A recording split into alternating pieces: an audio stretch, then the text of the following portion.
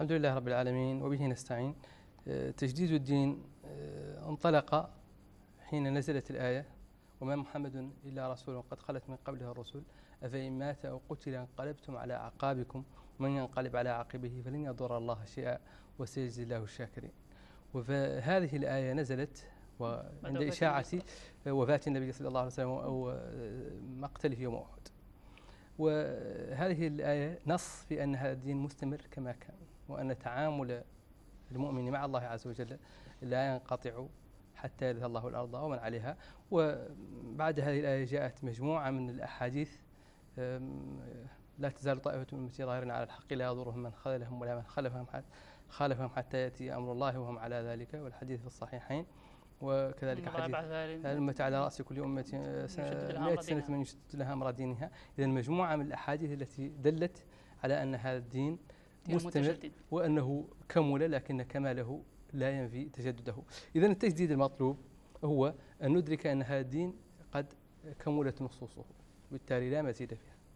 لكن هذه النصوص آه، وضعها الله عز وجل من حكيم خبير.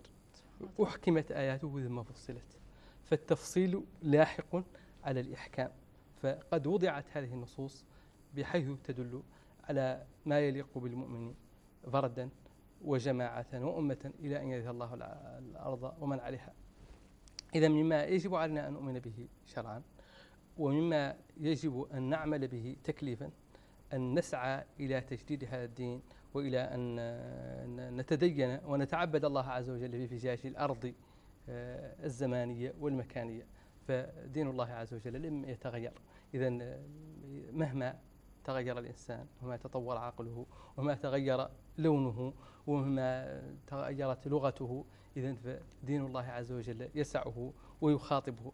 إذا هذا المنطلق الإيماني والقدري والتكليفي آه، يجعلنا نؤمن بأن ديننا مناسب وأنه لا يزال غض غضا طريا كما أنزل إلى اليوم. نعم. وبالتالي يسعنا مهما تعقدت في كل زمان في كل زمان ومكان. نعم. أه،